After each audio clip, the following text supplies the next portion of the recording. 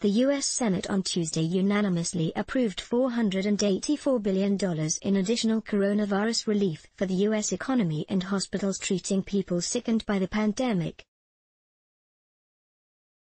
The Senate sent the bill to the House of Representatives for final passage this week. The bill, approved by the Senate on a voice vote in a near-empty chamber, was hurried along shortly after congressional leaders and the Trump administration brokered an agreement. The House is expected to vote on Thursday on what will be the fourth coronavirus response law. Together, the four measures amount to about $3 trillion, DH 11.01TN, in aid since last month to confront a crisis that has killed more than 43,000 Americans. U.S. President Donald Trump urged Congress to give quick approval to the measure, which mainly expands funding for loans to small businesses harmed by the pandemic, leaving extra aid for state and local governments for a later bill. Washington earlier provided almost $350 billion in loans to small businesses affected by the coronavirus. The loans can become grants if requirements are met. Those funds were quickly exhausted.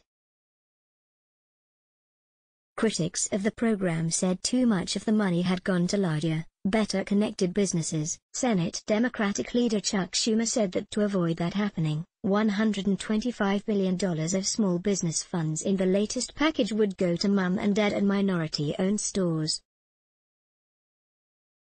Noting the crash timeline for passing the bill, Senate Majority Leader Mitch McConnell, a Republican, said it was necessary during unprecedented times for the entire nation. The deal includes $321 billion for a small business lending program, $60 billion for a separate emergency disaster loan program, also for small businesses, and $75 billion for hospitals and $25 billion for national coronavirus testing.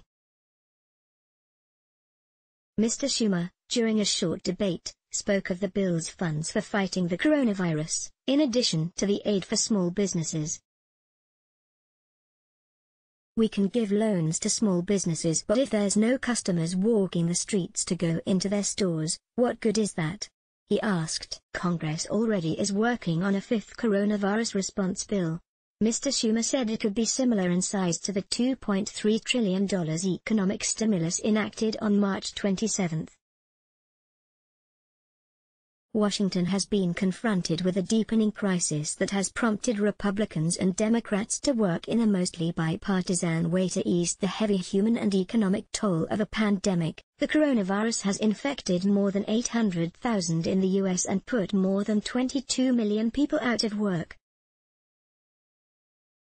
The U.S. economy has been battered as businesses closed and residents observed orders to stay at home and minimize the spread of COVID-19. While Republicans initially insisted the latest bill provide new funding for small businesses only, the Democrats succeeded in broadening it to hospitals and other healthcare centers, and more money for coronavirus testing